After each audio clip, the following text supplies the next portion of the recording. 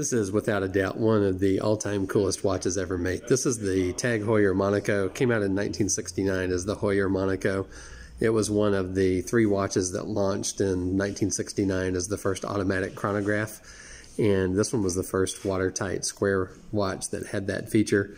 It's got the deployant buckle, the caliber 12 movement with the exhibition caseback. This is the watch that Steve McQueen wore in Le Mans 1970. Walter White wore it in Breaking Bad and it's just a, a continuous uh, conversation piece anywhere that you wear it.